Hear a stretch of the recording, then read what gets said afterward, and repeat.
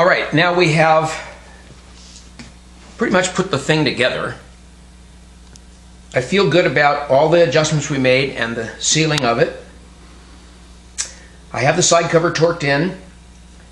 The, the worm gear adjustment bolt is out. So we're going to start now to adjust the final adjustment, the second adjustment, using the little spring gauge. First thing we do is we very carefully with one finger, we turn the steering wheel around and find the end of its travel. And we don't want to jam it in there. We want to go very lightly and find the end of its travel. There it is right there. What you don't want to do is jam that in because those parts will have tremendous forces against them when you put a 17 inch steering wheel out here and you and you and you handle it. So use care so that that doesn't happen. So we're starting here. We're going to turn it four times. There's one. There's two. There's three. And there's four. And how much more? A half. So we're going to go back two and a quarter to find the center of its of its of the travel. So from here we go one, two, and a quarter.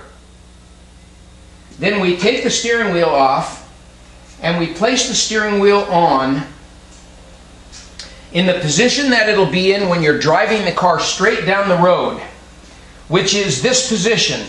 One spoke straight down toward the floor and the two turn signal canceling pins on your left, closest to the driver's door. So now that we've found the center of the motion of the shaft, we place the steering wheel on in the straight ahead position like you're driving down the road. These two turn signal canceling pins are vertically oriented right next to the driver's door panel. There it is. This is the center.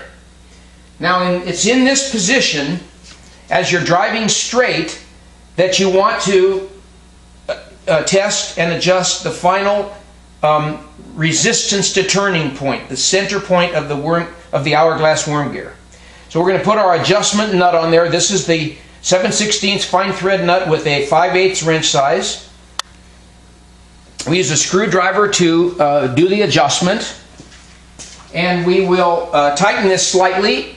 That is, we're running the, the, the sector roller up close to the worm gear. The sector roller will not pass under the worm gear. It only goes up and bumps into it. It's the amount of bumping into it that, that causes this adjustment. How close you force the roller to the moving worm gear, the closer you force it there, the harder the adjustment. And that's the adjustment we're going to make.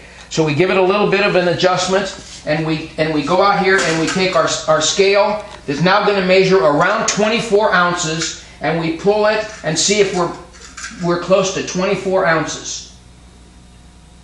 And I'm not at 24 ounces, I'm still uh, way below it. So I'm going to adjust a little further toward the worm gear. And once again, the two turn signal canceling pins are on the left. I put a little piece of masking tape here in the center just to kind of indicate the center of it for me. And I want to measure it now and see if we're if we're if we're coming up tight. There's resistance to turning right there. It's a little off center. It's off center. And if it's off center on both sides of center, which it is, it's off, it's a little bit heavy on both sides of center. So what we're going to do is we're going to we're going to leave it right there. Since we have um, resistance to turning a little bit to the left and a little bit to the right of center, we know that we're on the high point of the of the worm gear. So this is the place where we're going to set uh, the tension. And we're close to it right now within the specifications that they give.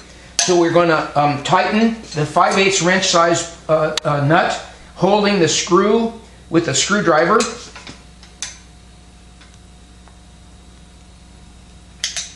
And we go back and check it one more time to see how it is.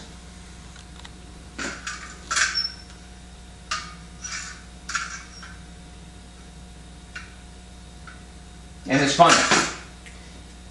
So now, one more thing you want to do. The new shaft does not come with the hash mark up at the top where the steering wheel goes on like the old original shafts did. So what I do is I take a cold chisel and I just make a hash mark like the hands of a clock up from the middle of the circle of that shaft where the nut goes on. I make a hash mark up to 12 o'clock so that later whoever takes on and off the steering wheel will have witness mark to be able to put the steering wheel on straight with the turn signal canceling pins here closest to the left door. That way the turn signal will cancel properly when you come out of a turn. So we have it all finished. I usually squirt a few squirts of 90 weight in here just for fun and put the cap in. I also include a six-piece um, uh, instruction sheet which is like a little follow-up instruction sheet which reminds the installer to check things out like the drag link and the wheel bearing adjustment and um, the tie rod ends and the third arm bearing and a few things like that that may be the cause of wander in one of these cars that will also confound the fact that the steering gearbox is in good condition but the car still may have some wander. As an example, the third, the third arm in the middle of the front frame cross member, that big idler arm, if you grab that arm and you, and you move it up and down, you want to have zero play there.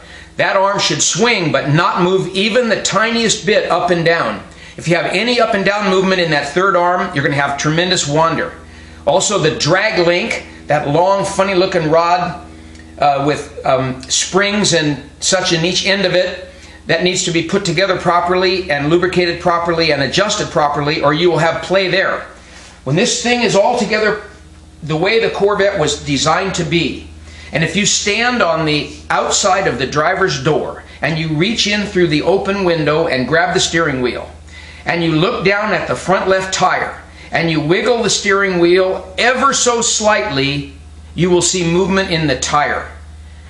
Ever so slightly. That's how perfect it was from the standpoint of having no play. There's zero play from the steering wheel to the rubber on the road when the whole Corvette is put together the way the factory intended for it to be. If your car's put together that way, you will enjoy driving it. It'll run like a modern car down the highway with no trouble whatsoever.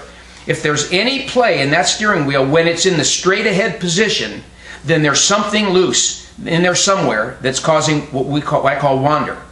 I want to thank my friend Benton Russell for holding the camera for me today. He's been here for hours doing this. Uh, I hope you've enjoyed this short video. My website is rarecorvettes.com.